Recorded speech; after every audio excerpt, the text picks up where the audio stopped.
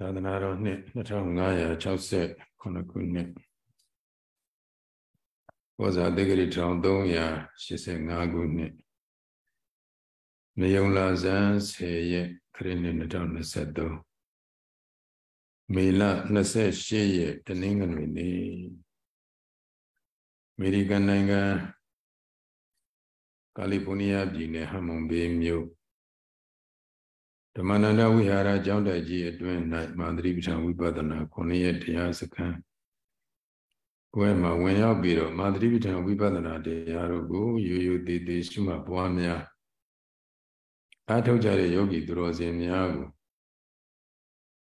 ဓမ္မဒါနအမတဒါနအနေအားဖြင့်မိမိတို့ကိုယ်တိုင်ရှုပွားအားထုတ်နေတဲ့ မဟာတတိပဋ္ဌာနာသုတ်တံဒေသနာတော်ထဲမှာဖွင့်ပြထားတဲ့ဣရိယာပဋ္ဌပိုင်းဘုန်းကြီးတို့ဓမ္မဒါနတရားလူပေးလူမှာဖြစ်ပါတယ်ဣရိယာပဋ္ဌပိုင်းဆိုတာတရားအားထုတ်တဲ့ပုဂ္ဂိုလ်တိုင်းပုဂ္ဂိုလ်တိုင်းဒီဣရိယာပု၄ပါးစလုံးရှုမှတ်ပွားများအားထုတ်ပုံကို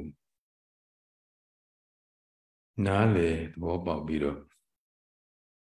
သဘောပေါက်ထားဖို့လိုအပ်ပါတယ်ဒါမှလည်းပဲမိမိအားထုတ်တဲ့အခါကာလမှာအထိုင်ကမ္မထမ်းတကူတည်းမဟုတ်ဘဲနဲ့ရက်တဲ့ကံမှလည်းပဲရက်တဲ့ဣရိယာပုလေးနဲ့ရှုမှတ်အားထုတ်ပြီးတော့နေလို့ရတယ် သွားတဲ့ခံမှာလည်းပဲသွားတဲ့သွားတဲ့အမှုရာခြေလန်းတိုင်းခြေလန်းတိုင်းမှာကိုတတိကပ်ပြီးတော့ရှုမှတ်ပွားများအထုတ်သွားလို့ရနောက်ဆုံးအိယာဘောရောက်လို့လျှောက်ဆက်အနားယူတဲ့ခံမှာလည်းပဲဒီတိုင်းနားယူလိုက်တာမျိုးမဟုတ်ဘဲနဲ့ရှုမှတ်မှုလေးနဲ့ကိုအနားယူတတ်သွားမှာဖြစ်ပါတယ်အဲဒီလိုဆိုတော့ ဝိပဿနာဉာဏ်ဓူးတွေမဉဏ်ဓူးတွေမဖြစ်တောင်မှကုသိုလ်ထူတော့ဖြစ်နေပါတယ်ကုသိုလ်ထူကတော့ကိုယ်မှာတတိယတိုင်းတတိယတိုင်းကိုရှုမှတ်မှုလေးနဲ့ဆိုတော့ဝိပဿနာဘာဝနာကုသိုလ်တွေမိမိရဲ့တဏ္ဍာမှာဖြစ်နေတာအဲလိုဖြစ်နေဖို့အတွက်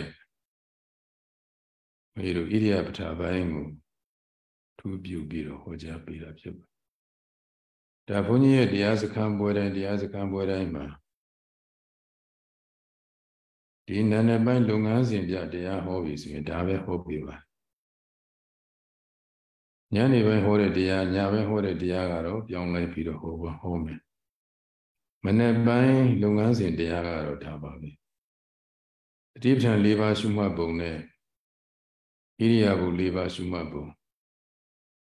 နောက်ပိုင်းဒီတဲ့ဒီတဲ့ပို့ပြီးတော့ ယောဂီများ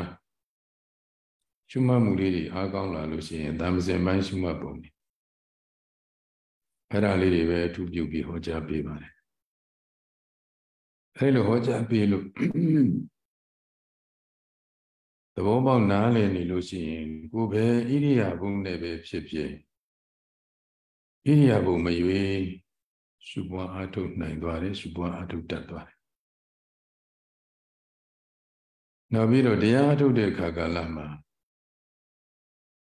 နေရာပေါ့ညာသောအားဖြင့်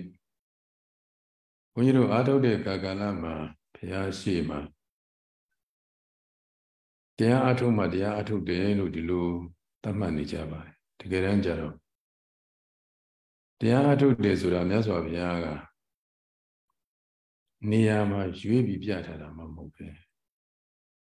တာမစဉ်ပိုင်းမှာဆိုရင်မြတ်စွာဘုရားစားတဲ့တောက်တဲ့နေရာရှုမှတ်ပုံလေးလေးပြတာစားတဲ့တောက်တဲ့နေရာရှုမှတ်ပုံဆိုတော့ဟောဓမင်းစားကန်းထဲမှာလည်းမှတ်လို့ရနေတယ်မိမိတို့ဝဇ္ဇဝတ္တာကစပြီးတော့ဝတ္တချွတ်တာကစပြီးတော့တန်ဃာဓိပတ္တစီဝရဓာရဏီမြတ်စွာဘုရား ယဟန်တော်များကိုဥတည်ပြီးတော့သင်္ကန်းဝတ္တသင်္ကန်းယန္နာသင်္ကန်းယုံနာသင်္ကန်းလက်ကြောတင်နာစသည်ပေါ့အဲဒီမှာတပိတ်ထားတာတပိတ်စေးတာတပိတ်သုတ်တာတပိတ်ဒိဋ္ဌာစသည်အကုန်လုံးရှုမှတ်ပုံတွေပြောထားဇာကတောက်ကနဲ့မှဖြစ်စီအဝလေးကနဲ့မှဖြစ်စီဟောကိုရှုမှတ်လို့ရတာလူများကြတော့အင်းကြီးဝတ္တလုံကြီးဝတ္တစသည်အကုန်လုံးကိုရှုမှတ်ရမှာဖြစ်တော့ဟောဝလေးကနဲ့မှလည်းရှုမှတ်လို့ရတော့တာ နောက်ဆုံးမြတ်စွာဘုရားဟောတာလေဥစ္စာရပတ္တဝကာမေမင်းတို့ကျင်ကြီးကျင်ငယ်စွမှုပြုရင်လည်းပဲသမ္ဇာနာကာကဲကျင်ကြီးကျင်ငယ်စွတဲ့နေရာမှာတော့တတိမလို့ရဘူးဆိုတော့ဟောသတ်စင်ကန်းထဲမှာလည်းရှုမှတ်လို့ရသွားတယ်အဲ့ဒီလိုကိုကနားလေထားရင်ဘယ်နေရာရောက်ရောက်ကိုရှုမှတ်နေရင်ကိုဝိပဿနာကုသိုလ်တွေဖြစ်နေတာ မိမိရဲ့ပါရမီမပြည့်စုံသေးလို့တရားထုဉာဏ်ထုမတွေ့ဘူးဆိုရင်တော့ပါရမီကုသိုလ်တွေတော့မိမိတို့ဖြစ်နေပြီအလေးချက်တွေအများကြီးရသွားပြီအဲ့လိုပေါ့တရားမို့ရှုပုံပွားပုံအထုပ်ပုံကိုတရားရှိတာဝင်တဲ့ပုဂ္ဂိုလ်တိုင်းတရားစကားဝင်တဲ့ပုဂ္ဂိုလ်တိုင်းဘုန်းကြီးတို့အထုတတ်အောင်သင်ပြပေးတာဖြစ်ပါတယ်နောက်တစ်ချိန်မှာတရားစကားနေမဝင်နိုင်ဘူးဆိုရင်တောင်ကိုယ့်အိမ်ကို ကိုအာထုတ်တတ်နေပြီဆိုရင်ကိုယ့်အိမ်မှာကိုအာထုတ်နေလို့ရသွားနိုင်ဘယ်နေရာသွားတော့ကိုအာထုတ်လို့ရသွားတယ်အဲ့လိုအာထုတ်လို့ရအောင်နာနေပိုင်းအချိန်လုပ်ငန်းစဉ်ရှုမှတ်ပုံတွေကိုပဲဘုန်းကြီးတို့ဟောကြားပေးရဖြစ်ပါဒါကြောင့်ဒီမှလည်းပဲဣရိယာပဋ္ဌာပိုင်းနေရာပြင်အခုသွားတဲ့ဣရိယာပုရက်တဲ့ဣရိယာပုကိုဘုန်းကြီးတို့ပြောခဲ့ပြီဒီနေ့နိသိဏောဝါနိသိဏောမိတိပသနာတိ နိသိဏောဝါထိုင်တော်လေးဝါထိုင်နေလေးဝါထိုင်လုံးထိုင်စေထိုင်ကြိုက်ထိုင်စင်မူလိနိသိဏောမိတိထိုင်သည်ဟူ၍ပသနာတိသိသိအောင်ရှုတဲ့ထိုင်နေတဲ့မူရာရှုမှတ်ပုံတော့ဘုန်းကြီးတို့ယောဂီများကိုတရားဟောတိုင်းပြောတိုင်းဒါပါနေတာပဲအထိုင်ဣရိယာပုနဲ့ရှုမှတ်မဲ့ပုဂ္ဂိုလ်ဟာအထိုင်ဣရိယာပုဂ္ဂိုလ်ကိုစနစ်တကျ ကြာရှည်စွာ ထိုင်နိုင်တဲ့နည်းနဲ့စပြီးတော့ထိုင်နေကိုက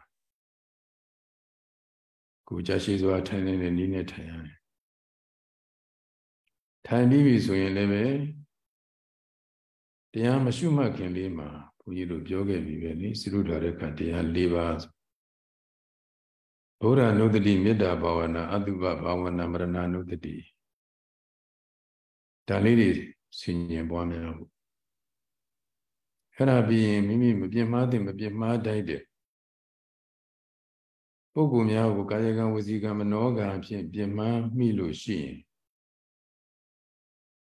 အပြစ်မှခွင့်လို့ဖို့တောင်းပန်ကြတော့အဲ့ဒါလည်းပဲတရားအထုတ်တဲ့နေရာမှာအရေးကြီးတယ်ဒါဘုန်းကြီးတို့ဘုန်းကြီးကိုယ်တိုင်တော့ မာစီရိတ်တာကြီးမှာမမိလိုက်ပါဘူးဒါပေမဲ့ဘုန်းကြီးတို့မရောက်ခင်လေးမှာပဲဘုန်းကြီးတို့ရဲ့ဗုဒ္ဓနာစီရဖြစ်တဲ့ဆရာတော်ကြီးဥဒ္ဒဇာတမာစီသာသနာရိတ်တာမှာမာစီဆရာတော်ဘုရားကြီးပြီးရင်အဲ့ဒီဆရာတော်ကြီးအကြီးဆုံးဖြစ်ပါတယ်အင်မတန်တရားပေးတရားပြတဲ့နေရာမှာအင်မတန်တော်တဲ့ဆရာတော်ကြီးဖြစ်ပါ အဲ့ဒီမှာသူ့လက်ထက်မှာသူ့စီမှာသူကအမျိုးသားယောဂီကြီးကြိုင်နေယဟန်ယောဂီကြီးဆရာတော်ကြီးအထူးအဖြင့်မျိုးသားနဲ့ယဟန်ကိုတရားပြပေးတာများအဲ့လိုတရားပြပြီးတော့အဲ့ဒီမျိုးသားတယောက်ရက်ကနှစ်လတောင်ဆုံးသွားပြီပေါ့နလစွန်းသွားတော့တရားကမတက်ဘူးဖြစ်နေဒီယောဂီကမကြိုးစားတာလားဆိုကြိုးစားတယ် မျက်စိကလည်းဘယ်သူမှလမ်းမကြည့်ဘူးပါးစပ်ကလည်းဘယ်သူနဲ့မှစကားမပြောဘူးသူ့အလုပ်ပဲသူပဲထိုင်ရင်ရရင်သွားရင်လျောင်းရင်ဆိုတော့ဝိရိယကိုတိုင်မလွတ်အောင်ရှုအဲ့တော့ညာမတက်တဲ့အခါကလည်းကြတော့ကမ္ဘာတန်းဆရာကတကားမင်းတရားတွေလို့ကြိုးစားတာမှန်တယ်ဒါပေမဲ့ညာမတက်ဘူးဖြစ်နေတယ်ဒါကြောင့်ခိတ္တခဏပြန်ပြီးနားလိုက်ဟုတ်ပြန်ခိုင်းလိုက်တယ် သူကနေရနေလာအထောက်ရတဲ့ပုဂ္ဂိုလ်ဖြစ်တော့သူပြန်လို့ရှိရင်နောက်တစ်ခေါက်ပြန်ရောက်ဖို့ဆိုတာတေချာယမတေချာလို့မယ်ဒါကြောင့်မပြန်ခင်မာသီဆရာတော်ဘုရားကြီးထံသွားပြီးတော့ကြောအောင်မယ်ဆိုပြီးတော့ဆရာတော်ဘုရားကြီးထံသွားပြီးတော့ကြောနှုတ်ဆက်တာဆဆရာတော်ဘုရားကြီးကတကားဘာကိစ္စလဲပြီးတော့ဒီပြီးတော့ပြန်လို့လာပြီးတော့ကြောတာပါဗျာဒီပြီးတော့ ပြန်မှာလည်းနေမှာခီးဝေးပါလေဗျာဒါကြောင့်မို့နောက်တစ်ခေါက်မရောက်နိုင်ခဲ့ရင်လည်းပဲမသေးကြတဲ့ရောက်နိုင်မရောက်နိုင်မသေးကြတဲ့အတွက်ကြောင့်အခုပြန်ကနေဆရာတော်ကြီးကိုလာကြောပါလေဗျာဆိုပြီးလာကြောအခုလို့ပြန်ပါလေရက်ကလည်းသူရက်တီချာနေပြီဆိုတော့ဆရာတော်ကြီးသိတယ်နောက်ပြီးတော့ဒီယောဂီ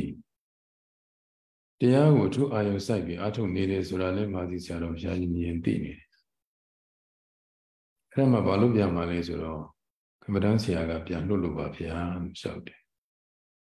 အဲ့ဒါနဲ့မာသီဆရာတော်ဘုရားကြီးကအေးဒီလိုဆိုရင်လေကမ္မဋ္ဌာန်းဆရာကပြန်လွတ်ရင်ပြန်တာပေါ့အဲ့လိုမင်းရှိပြီးတော့တကားပြန်သွားတဲ့အချိန်မှာမာသီဆရာတော်ဘုရားကြီးကအဲ့ဒီကမ္မဋ္ဌာန်းဆရာဖြစ်တဲ့ဆရာတော်ဥဒ္ဒဇာတကိုခေါ်ပြီးတော့မေးတယ်။ဘာကြောင့်အဲ့ဒီယောဂီပြန်လွတ်ရတာလဲလို့မေးတော့ ကမ္မဋ္ဌာန်းဆရာဖြစ်တဲ့ပုဂ္ဂိုလ်ကဆရာတော်ကြီးရှောက်တယ်။တရားမတက်ဘူးဖြစ်နေတယ်ဗျာလေဒီယောဂီနှစ်လလောက်ပဲရှိနေပြီ။တရားကလည်းမတိုးတက်ဘူးရှေ့ကမတိုးတက်ဘူးဖြစ်နေတယ်။အဲ့ဒါကြောင့်မို့သူ့ကိုခဏပြန်နားကြည့်လို့ဆိုပြီးတော့ပြန်လွတ်ပါတယ်ဗျာအဲ့ဒီမှာမာစီဆရာတော်ဘုရားကြီးကသူ့ကိုတေချာမေးစစ်ပါဦးတဲ့ သူမပြင်းမာတဲ့မပြင်းမာတဲ့ပုဂ္ဂိုလ်ကြီးဆရာသမားဘုရားရဟန္တာဖြစ်ပြည့်စေကဘုရားဆရာဆရာမိဘစတဲ့ပုဂ္ဂိုလ်ကြီးသူပြင်းမာမိတဲ့အပြည့်တွေရှိရင်တရားမတက်ဘူးအဲ့ဒါကြောင့်မို့သူ့ကိုမေးပါဦးမေးပြီလို့ပြင်မမိတာတွေသူဝန်ခံပြီးပြောရင်တက်ရှိတင်ရှားရှိနေတယ်ဆိုရင်အဲ့ဒီပုဂ္ဂိုလ်ထံသွားပြီးတောင်းပန်ခိုင်း တက်ရှိတင်ရှားမရှိလို့ရှိရင်အဲ့ဒီပုဂ္ဂိုလ်ရဲ့မြေပုံမှာသွားပြီးတော့ကြောဥချပြီးတောင်းပန်ခိုင်းအဲ့ဒီလိုမာသီဆရာတော်ဘုရားကြီးကကမ္မဒါနာစရိယဖြစ်တဲ့ဆရာတော်ဥဒ္ဒဇာတာအမိန့်ရှိတော်မှာဆရာတော်ဥဒ္ဒဇာတာချက်ချင်းပြန်လာပြီးတော့သောသောကပြန်လွတ်ထားတဲ့တကားကိုပြန်ခေါ်ခိုင်းတယ်ဝိရကာကတကားပေါက်တော့ပိတ်နေပြီသူ့ထုတ်လေးသူဆွဲပြီးတော့ပြန်တော့မှာအဲ့ဒီချိန်မှာကမ္မဋ္ဌာန်းဆရာခေါ်တယ်ဆိုတော့ အထုတ်ချပြီးတော့ဆရာတော်ထံသွားတဲ့အခါမှာဆရာတော်ကအဲ့ဒီမှာမှပြန်စစ်တာနင်းဒီပုဂ္ဂိုလ်ဒီပုဂ္ဂိုလ်တွေပြင်မမိကြတာရှိခဲ့သလားလို့မေးတော့မှသူကသူမိဘနှစ်ပါးကိုသူပြင်မမိတယ်အပြစ်တွေလည်းတင်တင်ခဲ့မိတယ်အဲ့လိုပြစ်တင်ပြီးပြင်မမိခဲ့တာတွေရှိပါတယ်မိဘနှစ်ပါးရောရှိသေးလားလို့မေးတော့မရှိတော့ပါဘူးအဲ့လိုဆိုရင်သူ့ရဲ့ တင်းညိုတဲ့နေရာမြေပုံတွေရောရှိရှိပါတယ်ကဲကဲသွားသွားအဲ့ဒီကိုသွားပြီးတော့မိဘနှစ်ပါးမြေပုံကိုသွားပြီးဥချက်မိမိပြင်မမိခဲ့တဲ့ကာယကံပြုတ်ဝစီကံပြုတ်မနောကံပြုတ်အပြစ်တွေရှိခဲ့ရင်ခွင့်လွတ်ပါဆိုပြီးတောင်းပန်ခဲ့တောင်းပန်ပြီးတော့တောင်းပန်ကြောပြီးပြန်လာခဲ့ဆိုပြီးတော့မှားလိုက်တယ်အဲ့ဒီမှာတကားလည်းပဲဆရာတော်ညွှန်ကြားတဲ့အတိုင်းသွားပြီးတော့ ကိုယ့်ပြစ်ကိုကိုဝန်ချတောင်းပန်ပြီးတော့ကြောပြီးတော့ပြန်လာတရားထုတ်အဲ့ဒီကြမှာတရားတွေတက်ဒါကြောင့်တခါတရားမှာတရားမတိုးတက်တဲ့တရားတွေအတင်းကြိုးစားတယ်ပြင်းပြင်းထန်ထန်ကြိုးစားနေပါလျက်နဲ့တရားမတက်တဲ့ပုဂ္ဂိုလ်တွေရှိတယ်လုံးဝတရားရဲ့အရေးအယံတော့သူမတွေ့တဲ့ပုဂ္ဂိုလ်တွေအများကြီးအဲ့ဒါမျိုးကြရင်အဲ့ဒီလိုသူကိုယ်တိုင်သတိမရရင်ကမ္မဋ္ဌာန်းဆရာကသတိပေးပြီးတော့ ပြမမိခဲ့တဲ့အပြစ်တွေကိုခွင့်လို့ဖို့တောင်းပန်ကြတော့ဆိုပြီးတော့အဲ့လိုခိုင်းပြီးတော့မှအားထုတ်မယ်ဆိုရင်တရားတွေလည်းမှတက်နိုင်တယ်ဒါကြောင့်မို့တရားအားထုတ်တဲ့အခါမှာအာမထုတ်ခင်မှာမပြင်းမတဲ့မပြင်းမတတ်တဲ့ပုဂ္ဂိုလ်များကိုပြင်းမမိခဲ့ရင်ဒီအပြစ်မှာခွင့်လို့ဖို့ဆိုတာတောင်းပန်ကြတော့ရတယ်။ကြတော့ပြီးတော့မှ မိမိခန္ဓာကိုယ်ကိုစွန့်နေတဲ့မြတ်စွာဘုရားအနည်းလူတန်းပြီးတော့ထိုင်မိမိကြိုက်တဲ့တဲ့ဣရိယာပုနဲ့မိမိပြုပြင်ပြီးထိုင်ထိုင်ပြီးခါးလေးကိုဖြောင်းဖြောင်းထားခေါင်းလေးကိုတည့်တည့်ထားမျက်စိလေးမိတ်လက်ကိုလည်းပဲဘယ်လက်ညာလက်ထပ်ပြီးတော့ဒီမှာရင်ဝင်ကြတဲ့ထားဒါမှမဟုတ်ဒုဘောပေါင်းပေါ်မှာမှောက်ရလမ်းရကြိုက်တယ်လို့ထားလို့ရအဲလိုထားပြီးတော့မိမိရှုမှတ်ရမယ့်အာယုံဖြစ်တဲ့ ဝမ်းပိုက်သို့မဟုတ်နာသီးပြသို့မဟုတ်ခန္ဓာကိုယ်အဲ့ဒီပုံမှာစူးစိုက်ပြီးတော့စိတ်ကိုညွတ်ပြီးတော့အဲ့ဒီမှာပေါ်လာတဲ့အာယုန်တိုင်းကိုမလွတ်အောင်ရှုရအဲ့ဒီလိုရှုနေရင်ကအတန်လေးကြားလာရင်လည်းကြားတယ်အတန်လေးသို့မဟုတ်ကိုအတွေးထဲမှာအာယုန်လေးမြင်လာရင်လည်းပဲမြင်တဲ့အာယုန်လေးနားထဲမှာကြားတဲ့အတန်ဆိုရင်လည်းတက်ရှိအတန်တက်မဲ့အတန်လေးနာဝမှာနာလာတဲ့မှုရဲ့အနတ်နာနဲ့အနတ်စသည်တွေ အတွေ့အထိတွေစိတ်ကူးစဉ်းစားကြံစည်တာတွေဒါတွေအာယုံ द्वार စုံတိုင်းစုံတိုင်းရှုမှတ်အထုဖို့ပါဒါထိုင်ရှုမှတ်တဲ့ပုဂ္ဂိုလ်ဟာဒီတိုင်းပဲဒီလောက်ပဲအာယုံနဲ့ द्वार စုံတိုင်းဒီဖောင်းမှုပိမှုကိုမြဲမြဲဆွဲဆွဲအိမ်တိုင်းထားပြီးတော့ပင်နိုင်ကမ္မဋ္ဌာန်းထားပြီးတော့ရှုမယ်ဝင်လေထွက်လေလေးကိုပင်နိုင်ကမ္မဋ္ဌာန်းထားပြီးတော့ရှုမယ်ဒါတခုတည်းရှုနေလို့ရှိရင်သမထဖြစ်သွားအဲ့ဒီကနေပြီးတော့မှအတန်လေးကြားလာရင်ကြားတဲ့အတန်လေးကို ရှုလိုက်မိမိစိတ်ထဲမှာအာယုန်လေးတွေမြင်လာရင်မြင်တဲ့အာယုန်ဘုရားအကြောင်းကံစသည်ပေါ့တက်မဲ့အတသက်ရှိအာယုန်တွေတွေ့လာရင်လည်းတွေ့တဲ့အာယုန်လေးကိုမြင်ရင်မြင်တယ်လို့ရှုလိုက်ကြားရင်ကြားတယ်လို့ရှုလိုက်နားရင်နားတယ်မွေးရင်မွေးတယ်ရှုစိတ်ထွက်ရင်ထွက်တာရှုစဉ်းစားရင်စဉ်းစားတာတွေ့ရင်တွေ့တာဒီလိုအာယုန်တော်ရပေါ်တိုင်းပေါ်တိုင်းကိုယောဂီပုဂ္ဂိုလ်ကရှုမှလုံးဝတရားအာယုန်တွေမထင်ရှားရင်မိမိရှုမြဲကမ္မထံကိုပဲ ဆွဲဆွဲမြဲမြဲရှုမှတ်ဖို့ပါပဲဒါထိုင်ရှုမှတ်တဲ့အဲ့ဒါနဲ့ဆက်ပြီးတော့တထိုင်နေနဲ့သောတာပန်တဂရကအနာဂါယဟန္တာအစင်းစင်ဖြစ်သွားပုံလေးရသော်ဘုရားလက်ထက်ကဗန္တိတဆိုတဲ့သာမဏေငယ်လေးဟာဒါသူ့ရဲ့ဝိတုကြောင့်ကိုပြောမယ်ဆိုရင်ရှိပေါ့အဲ့ဒီမှာတရားအထုတ်တဲ့အခါသူဟာဆရာဥပ္ပဇေဖြစ်တဲ့ရှင်သာရိပုတ္တရာမထေရမြတ်ထံမှာနေပါတယ် အဲဒီမှာဆုံးခံလိုက်မယ်ဆိုပြီးတော့ဆုံးခံလိုက်တယ်ဒါပေမဲ့လမ်းမှာတွေ့ကြရတဲ့တက်ရှိတက်မဲ့အရာဝတ္ထုတွေကိုသူဆရာတင်ပြီးတော့သူတရားအထုတ်တယ်ဆုံးခံသွားတဲ့အခါမှာရှင်သာရိပုတ္တရာမထေရမြတ်ကြီးကနောက်ဆုံးမှတန်ဃာတော်များဆုံးခံထွက်လို့နောက်ဆုံးမှထွက်တယ်။ဘာကြောင့်လဲဆိုတော့ကျောင်းလဲဝေယဝဆလုပ်ငန်းတွေဒီပစီလဲတာမှိုက်ကျုံတာ တောက်ရည်ဦးတွေဖြည့်တာဆေးတာကြောတာနောက်ပြီးတော့သန့်စင်ကမ်းမှာတန်တဲ့ရည်ဦးတွေဆေးတာကြောတာရည်ဖြည့်တာစသည်အကုန်လုံးဒါတွေလို့ပြီးမှဆုံးခံကြတာဆိုတော့နောက်ကြအဲဒီမှာသူเจ้าမှာအပ်ထားတဲ့ဒီပဏိတသာမဏေလေးကလည်းသူလည်းဆုံးခံလိုက်ခြင်းတယ်ဆိုတော့အဲဒီမှာခေါ်သွားတယ်လမ်းမှာတခင်းဆိုင်တဲ့ဖြတ်လန်းကနေသွားတော့လေချားလန်းကသွားတခင်းဆိုင်တဲ့ပုံကိုယ်တွေတွေ့တဲ့အခါကျတော့ဟိုကရေလောင်းနေကြတယ်ရေရေသွဲတန်းနေကြတယ် မြောင်းလေးတွေဖောက်အဲဒီမှာကိုရင်လေးကစကားတတ်တော့ဒါဘာလို့တာလဲမေးတယ်သူကမြို့သားဖြစ်တော့တိုးတဲ့အလုပ်ကိုသူဘာမှမသိဒီသစ်ပင်လေးတွေရှင်သန်မှုအတွက်ဒီမှာဒီရေတွေရှိတယ်အဲ့ဒီရေတွေကိုဒီမှာမြောင်းလေးတွေ့ပြီးတော့ဒီသစ်ပင်လေးတွေကိုရေလောင်းပေးတာဩဒီလိုလေးလုပ်လို့ရတယ်ကူရေခတ်ပြီးမှလောင်းရတာမဟုတ်ဘူးအခုမြောင်းလေးတွေ့ပြီးတော့လည်းပဲရေသွင်းထားလို့ရတာ အဲ့ဒီမှာသိရှိတဲ့မဲ့မိတဲ့ကတက်မဲ့အရာဝတ္ထုပဲဆိုတော့ကွင်လေးကတက်မဲ့အရာဝတ္ထုတောင်မှလူရင်လူသလိုလူတဲ့နေရာရောက်အောင်လုပ်လို့ရရင်ဘာလို့ငါစိတ်ကလေးကိုငါဘာလို့ထိမရတာလဲအဲ့ဒီမှာရေလေးတွေ့တန်းပုံလေးကိုနမူနာယူလိုက်ရှေ့ကြတော့လေးသမားမြားသမားတွေလေးတွေလုံနေကြတယ်မြားမြားတာနေလုံနေကြတယ် အဲတော့ကောက်နေတာလေးတွေကိုလည်းပဲဟိုကဖြောင်းအောင်ပူလေးပေးပြီးပြီးတော့ဖြောင်းအောင်ညစာလေးတွေလေးကိုင်းကြတော့ဖြောင်းနေတာကိုလေးကိုင်းကိုင်းကောအောင်အပူလေးပေးပြီးတော့ကိုင်းရဒါပါလုံးနေတာလည်းမေးရခွင့်နေအဲဒီမှာရှင်သာရိပုတ္တရာမထေရမြတ်ကြီးကဖြေချပြီးတယ်ဒါကလေးကိုင်းဒါကလေးလေးမြတရားကကောက်နေလို့မရဘူးကောက်နေရင်ကိုလိုတဲ့နေရာမရောက်ဒါကြောင့်ဖြောင်းအပူပေးပြီးဖြောင်းဟောတယ်က အဖြောင့်တွေကိုကောက်အောင်လေးခိုင်းကြတော့ကောက်အောင်လုပ်ပေးရတယ်ပူပေးပြီးဒါသက်ရှိတက်မဲ့မိတဲ့ကတက်မဲ့အရာဝတ္ထုပဲဆိုတော့ဩတက်မဲ့အရာဝတ္ထုတောင်မှလိုချင်တဲ့ပုံကိုလိုချင်တယ်လို့ရတာပြီ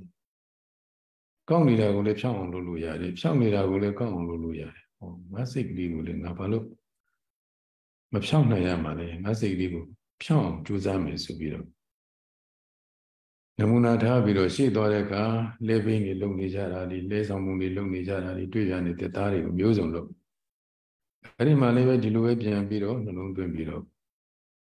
တပည့်တော်ဆုံးကမလိုက်ချင်တော့ဘူးပြန်မယ်ဆိုပြီးတော့ကြောင်းပြန်ကြောင်းပြန်ပြီးတော့ခြေတော့ပါစေတပိလေးထားတဲ့နေရာထားပြီးတော့တရားထုတ်တာအဲ့ဒီမှာသူစိတ်လေးကိုသူဆုံးမပြီးတော့စိုးစောကရေတက်မဲ့ရေတွေကိုလိုရာကိုရောက်အောင်တွင်းနေတယ်လို့ သူစိတ်လေးကိုလည်းပဲသူတည်ငြိမ်အောင်ဆောင်ရွက်ပြီးတော့အတူကြိုးစားအဲ့ဒီအချိန်မှာတရားမင်းကိုယ်တိုင်ဆင်းပြီးတော့စောင့်ရှောက်ပြီးဘာကြောင့်လဲအတန်နေကြားနေရင်တမာတိမဖြစ်မှာဆိုလို့အတန်ဟာတမာတိကိုအထူးပြပြစေတယ်အတန်ကဆူးနဲ့တူတယ်တဲ့တွားနေတဲ့ပုဂ္ဂိုလ်ဟာခြေဘဝဆူးဆူးလိုက်ရင်အဲ့ဒီခြေလမ်းရှေ့လှမ်းလို့ရသေးလားလုံးဝမရတော့ ဆူးဆူးလိုက်တာနဲ့ခြေလမ်းကတုံနဲ့ရပ်သွားတမာတိကလည်းဒီတိုင်းဘေးကအတန်ကနေလှောက်ရှက်လိုက်တာနဲ့တမာရီရဲ့ချစ်ချင်းတုံစုရပ်သွားတယ်ရှေ့ကိုတမာရီမတက်တော့ဒါကြောင့်အတန်ဟာဆူးနဲ့တူတယ်တမာရီထူထောင်တဲ့နေရာမှာအဲ့ဒီအတန်ဟာအနောက်ရှက်တစ်ခုပဲတဲ့အဲ့ဒါကြောင့်မို့တရားမင်းကိုယ်တိုင်စောင့်ပြီးတော့ငှက်တွေပါတယ်လည်းပဲဒီတရားထုတ်တဲ့နေရာနဲ့ပေါင်းဝန်းကျင်မလာအောင်စောင့်ရှောက်တယ် လေချမ်းနေချမ်းလေချမ်းမိုးချမ်းဘာမှမလုပ်အောင်လေတွေတက်ရင်လည်းပဲတေးရွက်တွေလှုပ်ပြီးတော့အတန်ကြီးချမ်းပါစို့ဒီကိုရင်လေးရဲ့တမာတိဖြစ်ရေးတရားရရေးကိုတရားမင်းကိုယ်တိုင်လာဆောင်ပြီအဲ့ဒီမှာတရားတွေအားထုတ်တယ်ခုယောဂီတို့အားထုတ်တယ်လို့ပဲခန္ဓာကပေါ်တဲ့အာယုရှုတာအဲ့ဒီလိုနဲ့တမာတိတွေအားကောင်းလို့ဉာဏ်တွေဖြစ်တဲ့အခါကျအစင်းစင်းအစင်းစင်းအဲ့ဒီမှာဝိပဿနာဉာဏ်တွေဖြစ်ပြီးတော့သောတာပန်အရိယာနေဆက်ရှု သောတာပန်ကနေဆက်ရှုပြန်ပြီးတော့ရှုတဂရကံအဲဒီမှာသောတာပန်ဖြစ်ပြီဆိုရင်နောက်ဆုံးဥရိယပယညာကပြန်ပြန်ပြီးစအဲဒီကနေဆက်ရှုလိုက်တဂရဂံမိမညာပူညာရောက်အဲဒီကနေဆက်ရှုလိုက်အနာဂံမိမညာပူညာရောက်အဲဒီမှာအနာဂံတည်သွားတယ်အဲဒီအချိန်မှာရှင်သာရိပုတ္တရာမထေရကလည်းဆုံးခံရပြန်လာကိုရင်လေးဆုံးဆံနေမှာဆိုတဲ့အတွက်ခတ်တုတ်တုပြန်လာအဲဆိုဗျာနေတကွာတန်ဃာတော်တွေကဆုံးဖုံးပေးပြီးတော့ပြီးသွားပြီ အဲ့ဒီအချိန်မှာခတ်တုတ်တုတ်လေးပြန်လာတဲ့အခါကလာကြတော့တရားမင်းကအရှင်သာရိပုတ္တရာကိုတားလို့မရဘူး။ဘာကြောင့်လဲဆရာလာပြီဆိုရင်တပည့်ပုဂ္ဂိုလ်ကလာမူကြိုစီးဆိုတဲ့တပည့်ကျင့်ကိုရှိတယ်။ဆရာလာရင်တပည့်ဟာကျင့်ငုတ်တုကြီးထိုင်နေရတာမဟုတ်စီးကြိုอ่ะ။ကြိုးစုပြီးနေရာထိုင်နေနေပြရ။အခုလည်းပဲရှင်သာရိပုတ္တရာလာတဲ့အခါမှာရှင်ဒီပဏိတသာမဏေလေးဟာဒီတိုင်းငုတ်တုတရားမှတ်နေလို့မရဘူး အဲ့ဒီမှာထားပြီးတော့ဆရာရဲ့တပည့်ရဲ့ဝတ္တရားတွေလောက်အောင်မှာဖြစ်တော့ရှင်သာရိပုတ္တရာကိုလည်းမတားနိုင်တဲ့အခါမတားရဲတဲ့အခါတရားမင်းပြန်သွားအဲ့ဒီချိန်မှာမြတ်စွာဘုရားသိအဲ့ဒီမှာကိုရင်လေးဟာအထက်ဉာဏ်ကြီးရအောင်မလားဆင်ဆင်ញင်လိုက်တဲ့အခါရမယ်ဆိုတာသိတဲ့အတွက်မြတ်စွာဘုရားကိုတော်တိုင်ရှင်သာရိပုတ္တရာမထေရမြတ်လမ်းမဲ့လမ်းအဲ့ဒီမှာမြတ်စွာဘုရားစဉ္ညာသွားပြီးစောင့် မြတ်စွာဘုရားစောင့်နေတာကိုဒီမှာဈဉ္ဉံသွားနေတာကိုတွေ့တော့ရှင်သာရိပုတ္တရာလည်းပဲခတ်တုတ်တုလာရကနေပြီးတော့ဖြည်းဖြည်းခြေလမ်းလေးကိုပုံမှန်ရပြလမ်းပြီးတော့အဲ့ဒီအချိန်မှာနာနာရောက်တဲ့အခါကျတော့မြတ်စွာဘုရားရှင်ကိုရောမြတ်ကြီးကဟိုကိုရင်လေးတရားအထုတ်ချိန်မှချိန်ရအောင်မြတ်စွာဘုရားကရှင်သာရိပုတ္တရာကိုဟန်တားတဲ့အနေအချင်းသာရိပုတ္တရာတဲ့ဘာကိုရလာတယ်လဲလို့မြတ်စွာဘုရားမေးတာ ရှင်ဘုရားတဲ့အာဟာရကိုရခဲ့ပါတယ်ဗျာကိုရင်လေးအတွင်းကနေကြားတယ်ကျောင်းရဲ့ခေါင်းရင်းလောက်ကနေသို့မဟုတ်ချင်းရင်းလောက်ကနေဒီမှာမြတ်စွာဘုရားကမေးနေတယ်ရှင်သာရိပုတ္တရာဖြေနေတယ်အဲ့ဒီအမေးနဲ့အဖြေကိုကိုရင်လေးတရားရှုမှရင်ကကြားတယ်နားကဒီအတန်စီကိုနောက်ပြီးတော့ဉာဏ်နဲ့ခန္ဓာကိုစိုက်ပြီးတော့ရှုနေ အဲဒီမှာမြတ်စွာဘုရားကဆင့်မိတယ်အာဟာရဟာဘာကိုဆောင်တယ်တဲ့မြတ်စွာဘုရားမေးတော့ရှင်သာရိပုတ္တရာမထေရမြတ်ကအာဟာရကဝေဒနာကိုဆောင်ပါတယ်ဗျာအဲဒီမှာအာဟာရဟာဝေဒနာကိုဆောင်ပါတယ်ဆက်ပြီးမေးပြန်တယ်မြတ်စွာဘုရားဝေဒနာသည်ဘာကိုဆောင်တယ်လဲလို့ဆက်ပြီးတော့ဝေဒနာဟာရုပ်ကိုဆောင်ပါတယ်ဗျာမြတ်စွာဘုရားကယုတ်တိဘာကိုဆောင်တယ်လဲလို့မေးတော့ယုတ်တိဖတ်တ ဆောင်းပါသည်ဗျာလို့ဥမာအမေးလေးခုအဖြေလေးခုဘုရားဆောဗျာမေးနေတာလည်းသိတယ်ရှင်သာရိပုတ္တရာဖြေနေတာလည်းသိတယ်အဲ့ဒီအမေးနဲ့အဖြေလေးကိုနားကကြားပြီးခန္ဓာညာသွင်းပြီးရှုပွားနေတာအဲ့ဒီအမေးဖြေလေးဆုံးသွားရောကွင်တောင်နေလေးကကိရိတာအသောကုန်ခံပြီးယဟန္တာဖြစ်သွားထိုင်ပြီးရှုမှတ်နေရင်ဘယ်လိုရှုမှတ်နေရင်လဲ အထိုင်ရှုမှတ်ရင်အဲ့ဒီလိုကြိုးကြိုးစားစားနဲ့တကယ်ကိုလူလူလန်းလန်းနဲ့ရှုမှတ်အားထုတ်နေတဲ့ပုဂ္ဂိုလ်ဖြစ်တော့အာရမီလည်းပြည့်စုံနေတဲ့ပုဂ္ဂိုလ်ဖြစ်တော့ဟောတထိုင်နဲ့အတွင်းမှာပဲကိရိတာအသောကုန်ကံယဟနာဖြစ်သွားတယ်။ဒါကြောင့်မြတ်စွာဘုရားသာသနာမှာထိုင်ပြီးတော့ရှုမှတ်ရင်းနဲ့တရားသူရတဲ့ပုဂ္ဂိုလ်တွေကတော့ရေတွက်လို့မရနိုင်တော့အများပြားပါ ဒါကြောင့်အထိုင်ဣရိယာပုရှုမှတ်ပုံလေးပဲခုဘုန်းကြီးတို့ယောဂီများအားလုံးအထိုင်ရှုမှတ်ပုံကတော့သဘောပေါက်နေပြီကြည်ညက်နေပြီဖြစ်ပါရှုမှတ်လို့ရှိရင်ကိလေသာအသောကုန်ကံရဟနာကြည့်အောင်ဖြစ်နိုင်တယ်အဲ့လောက်ထိအောင်ပါရမီမပြည့်စုံသေးဘူးဆိုရင်လည်းပဲအန္တဘုဒ္ဓဇင်ဘဝကကလျာဏဘုဒ္ဓဇင်ထိအောင်ဖြစ်နိုင်တယ်ယုံနာဖြစ်ဖြစ်တည်သိတဲ့ဝိပဿနာဉာဏ်တွေလောက်တော့ဖြစ်သွားနိုင်ပါ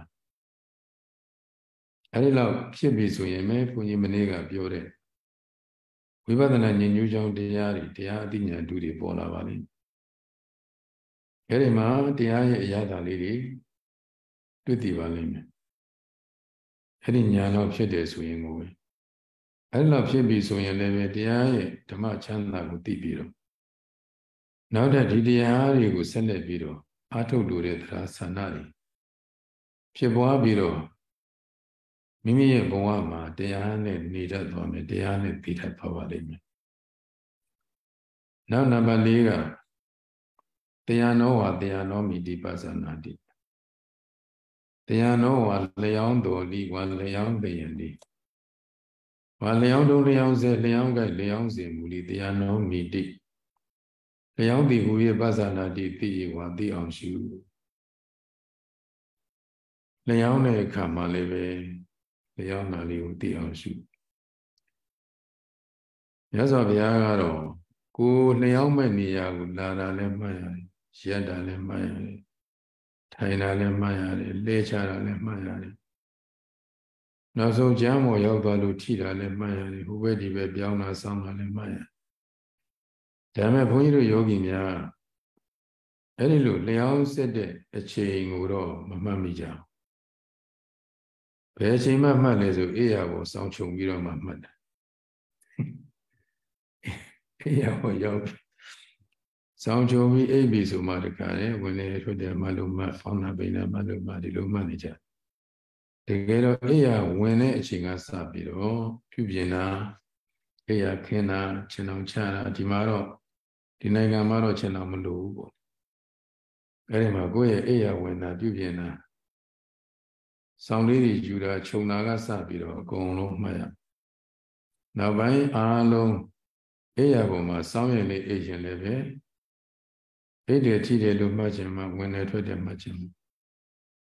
တို့မဟုတ်ဖောင်းတာပိန်တာလေးမှတ်ချင်မှပက်လက်ကလေးအိတ်မယ်ဆိုရင်တော့ဖောင်းမှုပိန်မှုကပူပြီးတော့ရှုမှတ်ရတာထင်ထင်ရှားရှားဖြစ်တော့ဖောင်းတာပိန်တာလေးမှတ်ပြီးအိတ်လို့လည်းရတယ်အဲ့ဒီလိုနဲ့မှန်ရင်းလည်းပဲအိတ်ပြောသွားဘူး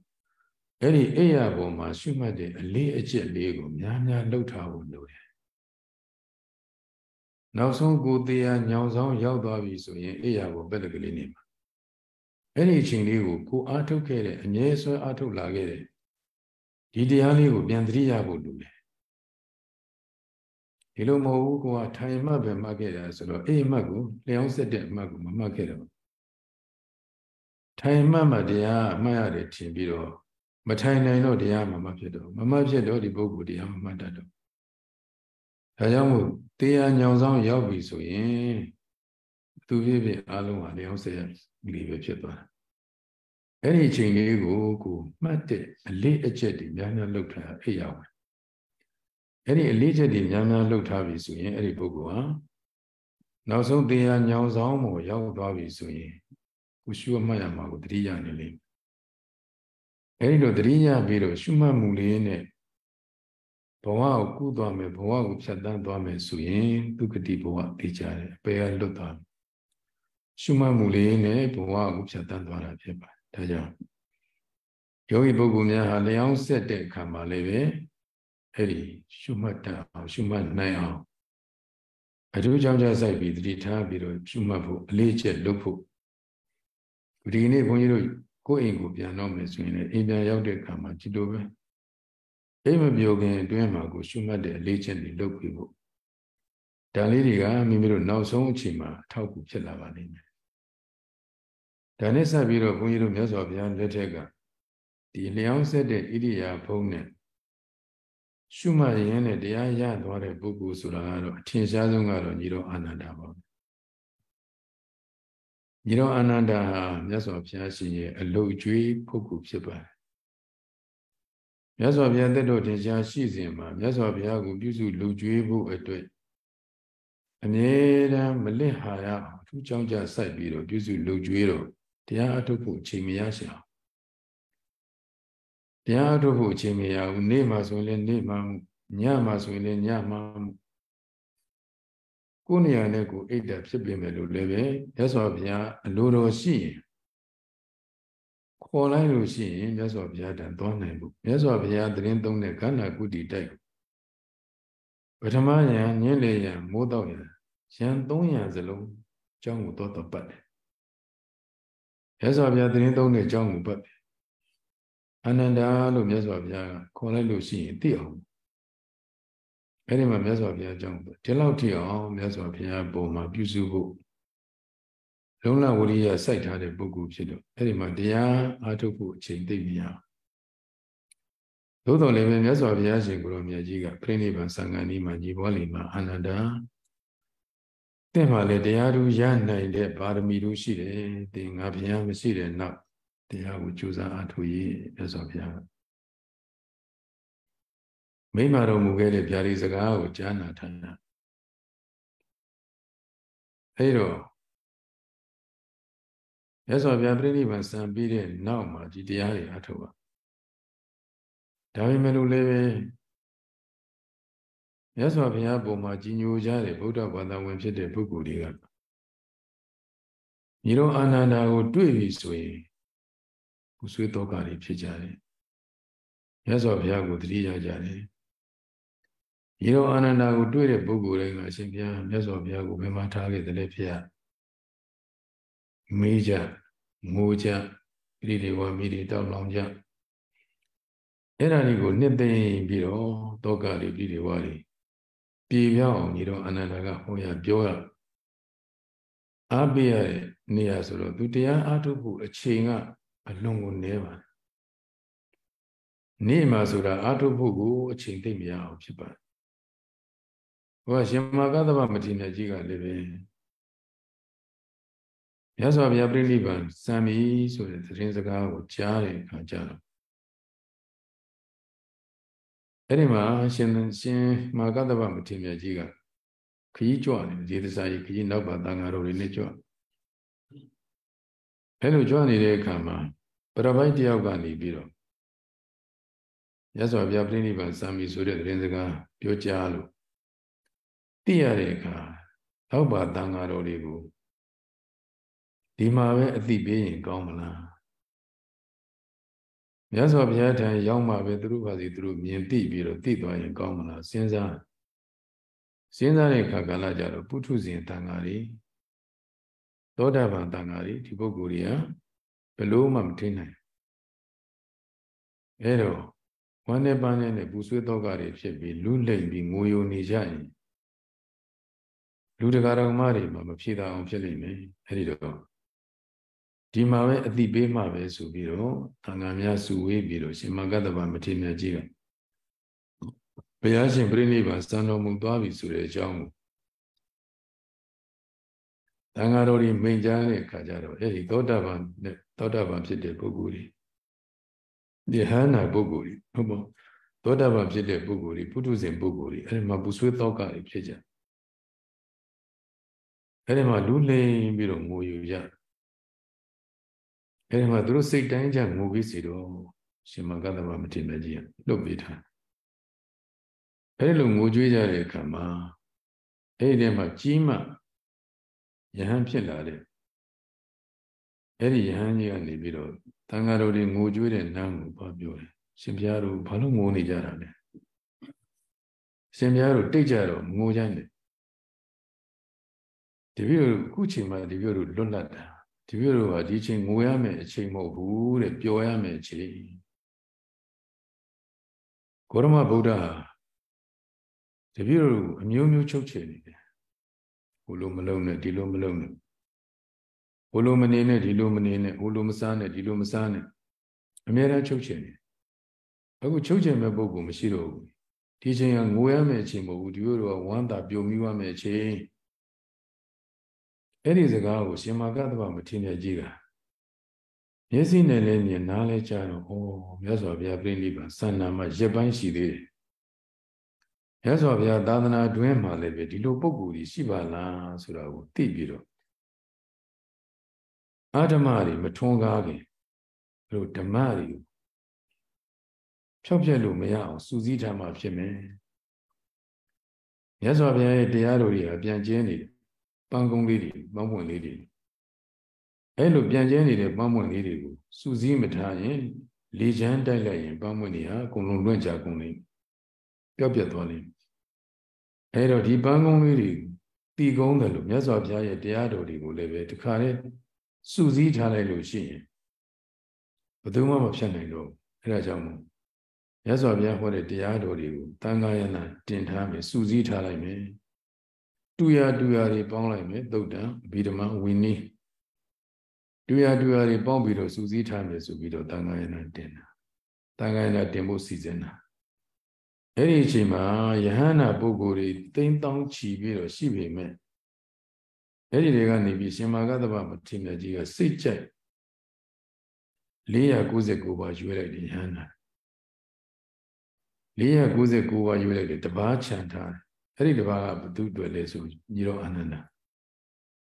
ဒီသံဃာနာတင်ပွဲကြီးမှာအာနန္ဒာမပါလို့သံဃာနာတင်ပွဲကြီးကမပြီးနိုင်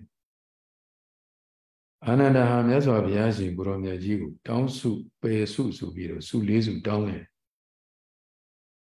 အလိုအကျွေးဖြစ်နေသူလုံးရမယ်ဆိုရင်သူ့ရဲ့တောင်းစုက၄စုပယ်စုက၄စုပေါ့ အဲ့ဒီတောင်းစုထဲမှာမြတ်စွာဘုရားဘယ်ကိုပဲကြွကြွဘယ်ပုဂ္ဂိုလ်ကိုပဲတရားဟောချွေချွတ်ချွေချွတ်တခါတရံမှာမြတ်စွာဘုရားအနန္တပါသွားတဲ့နောက်ပါတန်ခါနဲ့တခါတရံမှာမြတ်စွာဘုရားအနန္တမပါဘူးတပါးနဲ့သွားပြီးတော့ချွေချွတ်ရတာရှိအဲ့ဒီလိုတပါးလေးကိုပုဂ္ဂိုလ်ဒီပုဂ္ဂိုလ်ကိုဟောပြောချွေချွတ်လို့အဲ့ဒီပုဂ္ဂိုလ်ဟောခဲ့တဲ့တရားကိုမြတ်စွာဘုရားပြန်လာပြီးတော့သူ့ကိုပြန်ဟောပြမယ်ဆိုရင် တောင်းဆိုတယ်သူမြတ်စွာဘုရားကိုလုံခြေပြုပါမယ်အဲဒီတောင်းဆိုရှိတဲ့အတိုင်းပဲမြတ်စွာဘုရားကတပားနဲ့သွားပြီးတော့တရားဟောပြောချွေချုပ်ခဲ့ရင်လေပြန်လာရင်အာနန္ဒာကိုငါဘုရားဒီမျိုးဒီရွာဒီဒေသကဒီပုဂ္ဂိုလ်ကိုငါဒီတရားဟောပြီးချွေချုပ်ခဲ့တယ်ဒီတော့အာနန္ဒာပြန်ဟောပြအဲ့တော့မြတ်စွာဘုရားဟောသမျှတရားတွေမှာညီတော်အာနန္ဒာစီမှာရှိတယ် ညီတော်အာနန္ဒာစီမှာပဲရှိတယ်ဆိုဒါကြောင့်မို့ညီတော်အာနန္ဒာကို သာသနာမှာဓမ္မဗန္တာခါရိကတရားဗန္တာဆိုကြီးမြတ်စွာဘုရားရဲ့တရားဗန္တာတိုက်ကြီးမို့သူသူမပါရင်ဒီသံဃာနာတင်ပွဲမှာမပြီးနိုင်ဘူးအဲဒါကြောင့်မို့သူ့ကိုရှင်မာကတ္တဗမထေရကြီးကတရားအထုတ်ဖို့တိုက်တွန်းရဟန္တာဖြစ်အခြားခြားရဟန္တာပုဂ္ဂိုလ်တွေကလည်းပဲတိုက်တွန်းကြအားပေးကြ ဒါပေမဲ့ညီတော်အနန္ဒာမှာကစောစောကပြောတဲ့အတိုင်းပဲနေခင်းအချိန်မှာဆိုရင်အဲ့ဒီတရားဓမ္မတွေကိုချွေချွတ်ဟောပြောဒေါကပရိဒေဝတွေလွန်မြောက်ဟောပြောရတယ်ဆောင်ရွက်ဆရာတွေရှိတော့ညာပိုင်းမှာမှတရားထုတ်ခြင်းရအဲ့ဒီမှာညာပိုင်းမှာဆိုရင်လည်းပဲမနာတန်ကြိုးစားအထုတ်တယ်အဲ့ဒီလိုနဲ့အထုတ်လာခဲ့တာရက်ဒေတာတဖြည်းဖြည်းတန်ခါရတာတင်ဖို့နီးလာတယ်ညီတော်အနန္ဒာယန္တာဖြစ်သေးဘူး အဲဒီမှာဘေးကပုဂ္ဂိုလ်တွေကလည်းပဲကိလေသာအစွန်နံတဲ့ပုဂ္ဂိုလ်နဲ့တော့အတူတူသံဃာနာတရားတော်မှာပဲစသည်ဖြစ်ပေါ်လေပို့ပြီးတရားတွေကြိုးစားအောင်ဘေးကနေပြောကြဆူကြအနန္တကလည်းကြိုးစားတယ်နောက်ဆုံးမနေ့ကဆိုရင်သံဃာနာတင်တော့ပြီဒီကနေ့အခြေအနေထိအောင်ညီတော်အနန္တဟာသောတာပန်မရှိသေးတယ်ရဟန္တာမဖြစ်သေးဘူးအဲ့ဒါနဲ့ညာပိုင်းမှာကြိုးစားပြီးအထုတယ်အဲ့ဒီကြိုးစားအားထုတ်တဲ့ဟာ ဒီစာထဲမှာကစဉ္ညာလျှောက်ပြီးတော့ကြိုးစားအားထုတ်တယ်လို့ပါတယ်စင်ကမေနဒီတော့အာနန္ဒာဟာတညာလုံးစဉ္ညာလျှောက်မထိုင်ဘူးလားဆိုတော့ထိုင်ထိုင်ပြီးရှုမှတ်တာနည်းနည်းပဲစဉ္ညာလျှောက်ရှုမှတ်တာများများအဲ့ဒီမှာစဉ္ညာလျှောက်ပြီးရှုမှတ်တယ်ဘလို့မှအရေးအယောင်မပေါ်ဘူးဖြစ်နေဘာကြောင့်လဲဝရိယတွေလုံးနေလို့ဒီတော့အနန္တတရားမတွေ့တာဝရိယတွေလုံးကင်းနေလို့ ပြောရရင်တော့လူချင်းတာတွေများနေဘာကြောင့်လဲမနေ့ဖန်ဆိုရင်ကိုမတန်ခါနာတင်တော့မှာသူကိုယ်တိုင်ပါရမှာဖြစ်တယ်အဲ့တော့ယဟနာမဖြစ်ဘဲနဲ့ပါသွားလို့မဖြစ်ဘူးယဟနာဖြစ်မှာအဲ့တော့သူကလည်းတရားရခြင်းနဲ့ဇောလည်းရှိတယ်ဝိရိယစိုက်ပြီးတော့ကြိုးစားအားထုတ်တယ်အဲ့တော့ဝိရိယတွေလုံကင်းနေတဲ့အခါကျတော့ဘာတွေကလွှမ်းမိုးလာလဲဆိုတော့ဥဒိစ္စတွေဖြစ်လာ ဥဒိစ္စဆိုတာပြန့်လွင့်တာအဲ့ဒီမှာဝိရိယတွေလုံခဲ့ပြီးဥဒိစ္စတွေဖြစ်စိတ်တွေကမတည်ငြိမ်စူးစီးလို့လည်းအာမကောင်းပုဂ္ဂိုလ်အားပေးလိုက်ကြိုးစားလိုက်စိတ်တက်တွေကျသွားလိုက်အားပေးလိုက်ကြိုးစားလိုက်ဒီလိုနဲ့နေနောက်ဆုံးပင်လဲပင်မလာပြီမနေ့ကလည်းမိုးလင်းမို့မိုးတော့ရံချင်းရောက်နေအဲ့ဒီမှာပင်လဲပင်မလာ တကယ်လို့သာမြတ်စွာဘုရားရှိမယ်ဆိုရင်ဝိရိယနဲ့ကြိုးစားတဲ့နေရာမှာငါ့ကိုမြတ်စွာဘုရားအတိမပြုမှာပဲမြတ်စွာဘုရားရှင်ကိုရောမြတ်ကြီးကငါဘုရားမရှိတဲ့နောက်တရားအထုတ်ရဲ့ကြိုးစားရဲ့နေ့မှာတရားဓုရနိုင်လောက်တဲ့ပါရမီရှိတယ်ဆိုတဲ့အားပေးတဲ့စကားလေးကိုပြန်ပြန်ကြားပြီးတော့စိတ်ဓာတ်တွေကြာနေတာကိုပြန်မြင့်တင်ပြီးပြန်ကြိုးစားအဲ့လိုကြိုးစားရင်းနဲ့ပင်မလာတဲ့ခါမှာခတခဏနားအောင်မှဖြစ်မယ် ခဏလေးနားမယ်ကြောလေးဆန့်မယ်ပေါ့တဘောကခဏကြောလေးဆန့်ပြီးနားပြီးရင်ပြန်ပြီးတော့အားထုတ်မယ်အဲ့လိုရည်ရွယ်ချက်နဲ့မိမိရဲ့ကရင်ညောင်ဆောင်ရှိရာကိုသွားတယ်သွားတဲ့ခါမှာလည်းအမှတ်တရမလို့ဘူးအမြဲတမ်းတတိကသွားတယ်သွားနေတဲ့မူရကရင်နန်းရောက်တဲ့အခါကျတော့ရက်တယ်အဲ့ဒီမှာရက်တဲ့အမူအရာလေးရှိတယ်ရက်တယ်ရက်တယ်အဲ့ဒီမှာရက်နေတာကြတော့ထိုင်ဉာဏ်နဲ့စိတ်ကြီးပေါ်လာတညာလို့ဈဉ္ညာရှောင်နေတာဆိုညောင်းလာခါတယ် အဲ့ဒီမှာထိုင်ဉာဏ်နဲ့စိတ်ကြီးပေါ်လာတော့ထိုင်ဉာဏ်စိတ်လေးကိုပဲစိတ်ကိုပဲပြန်ရှုထိုင်ခြင်းနဲ့ထိုင်ခြင်းအဲ့ဒီမှာထိုင်ချလိုက်တဲ့အခါကျတော့မှထိုင်နေထိုင်နေထိုင်နေထိုင်နေတစင်ချင်းအစင်းစင်ကြာနေတာလေးကိုသတိကပ်အောက်ကိုကျမ်းကိုထိုင်မိသည်ထိအောင်သတိကပ်ပြီးရှုထိုင်ပြီးပြန်တော့ရောဆိုတော့ပင်ပန်းနေပြီဆိုတော့ကြောဆန့်နေတယ်လဲခြင်းစိတ်လေးကစဖြစ်ပေါ်လာတဲ့အခါလဲခြင်းစိတ်လေးကိုပဲရှုသွားတယ်လဲခြင်းနဲ့လဲခြင်းနဲ့ရှု နောက်လဲခြင်းနဲ့လဲခြင်းနဲ့ဆိုပြီးရှုနေတော့စိတ်ကိုတင်းထားတာမဟုတ်စိတ်ကိုလျှော့ချအဲလိုစိတ်ကိုလျှော့ချပြီးတော့တရွေချင်းလှဲချရတဲ့အခါကျတော့လှဲတယ်လှဲတယ်လှဲအဲဒီမှာလှဲမှုရဲ့အစင်းစင်ဖြစ်ဖြစ်ဒီကိုအဲဒီမှာသွားမြင်စိတ်ကလျှော့ချလိုက်တဲ့အချိန်စောစောကဝိရိယတွေလွန်နေလို့တမာရီနဲ့မညီမျှတော့ဉာဏ်မပေါ်ဘူးပေါ့ဝိရိယနဲ့တမာရီညီမျှမှဉာဏ်ဆိုတာပေါ်တာ အခုဝိရိယကလွန်ကဲပြီးတော့တမာရီအားနည်းနေတဲ့အခါကျတော့ဉာဏ်မဖြစ်ဘူးဥဒ္ဒစ္စတွေဖြစ်သမာဓိတွေလွန်ကဲပြီးဝိရိယနည်းနေတဲ့ပုဂ္ဂိုလ်ကြထိနာမိတာဖြစ်ကောင်းတဆဆနဲ့ငိုက်တယ်အခုညီတော်အာနန္ဒာကဝိရိယတွေလွန်ကဲနေဝိရိယတွေလွန်ကဲနေတော့ဥဒ္ဒစတွေဖြစ်နေတဲ့စိတ်တွေကပြန်လွန်အဲ့ဒီမှာစိတ်ကိုလျှော့ချလိုက်တယ်လေးခြင်းနဲ့လေးခြင်းနဲ့စိတ်ကိုလျှော့ချလိုက် အဲ့ဒီလျှော့ချလိုက်ပြီဆိုတဲ့အခါမှာသူ့ရဲ့ရှိတဲ့ဝိရိယနဲ့တမာရီနဲ့ညီမျှသွားအဲ့ဒီညီမြတ်သွားတဲ့အခါမှာလှဲတဲ့အခါမှာလှဲတယ်လှဲတယ်တဆင်းပြက်လိုက်ပြက်သွားလိုက်တဆင်းပြက်လိုက်ပြက်သွားလိုက်တဆင်းပြက်လိုက်ပြက်သွားလိုက်တဆင်းပြက်လိုက်ပြက်သွားလိုက်ဟိုကလှဲနေတဲ့အမူအရာရုပ်ရောလှဲမှုလေးကိုသိနေတဲ့သိစိတ်လေးရောနှစ်ခုစလုံးအတွဲလိုက်တွဲလိုက်ဒီကနေ့ပြက်လိုက်ပြက်လိုက်ပြက်လိုက်ပြက်လိုက်အဲ့ဒီမှာဝိပဿနာဉာဏ်လေးအစဉ်စဉ် ဖြစ်ပြီးတော့ဉာဏ်အားဖြင့်ပြည့်စုံတဲ့အခါကျတော့ဟောအရိယာမဉ္ဇဉ်ပူဉ္ဇဉ်နဲ့တဂရဂံမိမဉ္ဇဉ်ပူဉ္ဇဉ်ရောက်အနာဂံမိမဉ္ဇဉ်ပူဉ္ဇဉ်ရောက်နောက်ဆုံးခေါင်းအောင်ကခေါင်းနဲ့မထိခင်ခေါင်းအောင်နဲ့ခေါင်းနဲ့မထိခင်ခြေထောက်ကလည်းပဲကျန်းကနေအောက်ကညီကြီးကနေလွတ်ပြီးပေါ်အဲဒီလိုခြေထောက်လည်းအပေါ်ကိုကြွသွားပြီကျန်းနဲ့လွတ်သွားပြီခေါင်းကလည်းခေါင်းအောင်နဲ့မထိခင်တကယ်လို့ခေါင်းအောင်နဲ့ထိတယ်ဆိုရင်လည်းဣတဲ့အမူအရာပေါ့